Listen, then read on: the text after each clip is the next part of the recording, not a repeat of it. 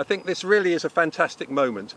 It's 150 years since Harold Burkill recorded the last large blue butterfly on Rodborough Common and I can stand here today in this fantastic weather with large blues flying around my legs.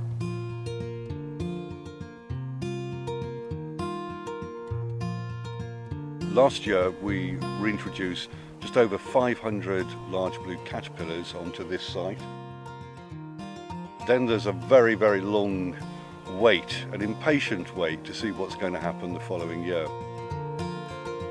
And uh, after a culmination of several years of work, um, it's paid off this year where the lush banks of Rodborough Common now support the vibrant flash of blue of the large blue butterfly. The butterfly has several key things that it actually needs to be able to survive. The first thing of all is it has to have present the food plant that the female lays her eggs on. And this can either be thyme or it can be marjoram. One of the good things about this site is we've got both of those species. It needs very high densities of the ant Myrmica sabuleti that it parasitizes. And again, we've been able to demonstrate by surveys actually spanning back five, six years. We watched as the grazing increased, the density and the abundance of those ants increased dramatically.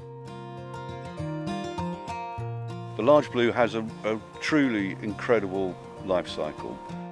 The caterpillar is actually exuding pheromones that mimic the same smells that the ant grubs uh, emit. It then also behaves very like an ant grub. So the ant thinks it's one of its own grubs that somehow has got lost, picks it up and takes it underground and, and puts it in the ant's nest.